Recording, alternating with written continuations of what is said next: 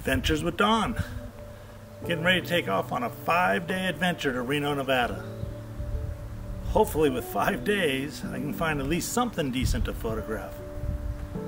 Might even swing over to Virginia City, go to the Virginia City hat makers, have them spruce up my hat a little bit. Let's get everything packed. Let's hit the road.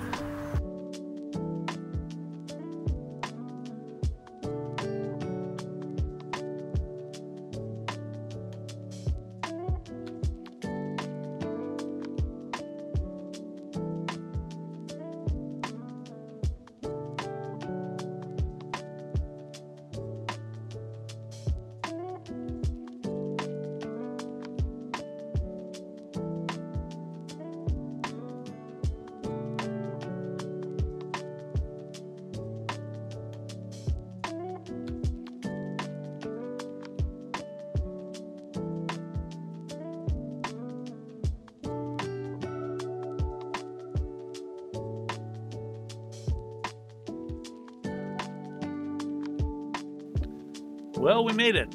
Reno, Nevada. Biggest little city in the world.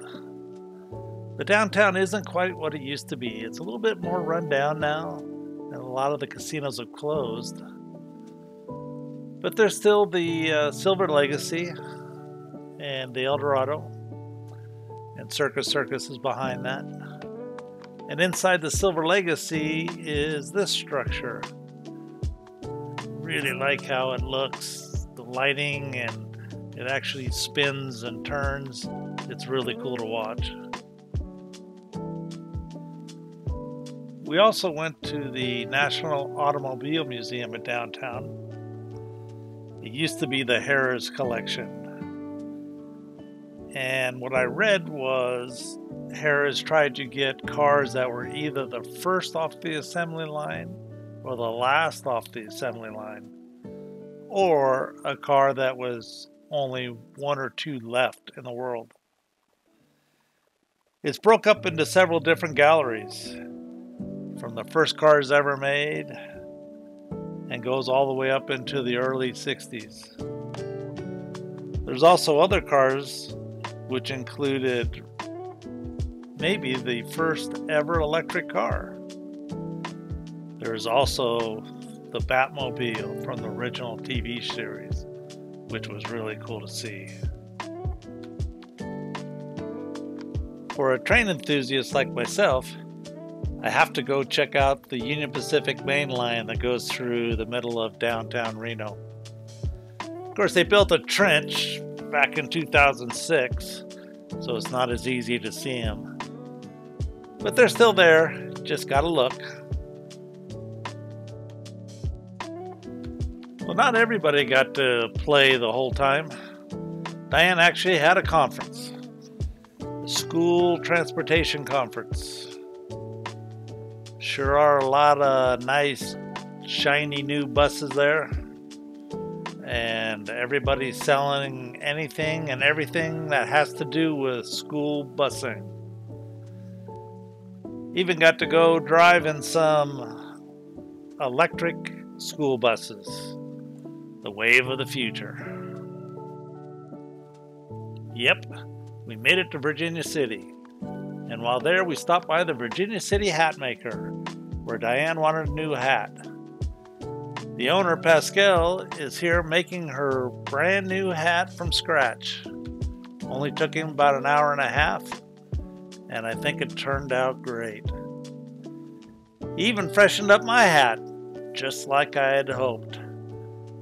Really happy how it turned out. A really nice guy. If you need a hat, this is the guy to go to. Fort Churchill is a Nevada State Historical Park, a short ways off of Highway 50 near Silver Springs. This army post was established in 1861 with an average of 200 soldiers, but then was abandoned in 1869. I imagine you had to really make some officer mad to be sent here, as it's really in the middle of nowhere, which the video clearly shows. A lot of the buildings are gone, and the remaining ones are kept in a state of arrested decay. I was hoping to get a shot of the Milky Way above one of the buildings while I light painted that building. The whole time we were there, we didn't see another soul. So without any interruptions, we had all night. This will be the building of choice. One right here. Apparently it was a mess hall back in the day. So if all goes well, we'll light it up a little bit and the Milky Way will be right over the top. Hopefully these clouds won't interfere, but hey, we'll find out. Well, sure enough, the clouds were an issue. They just didn't want to go away. They'd open slightly and close right back up, but never go away.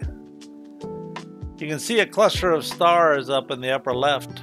That's the Milky Way, but that's about all I could see of it. So you just do what you can. Try to get a good photo with what you've been given. I actually like how it turned out. Hope you do too. Great trip to Reno. Thanks for watching.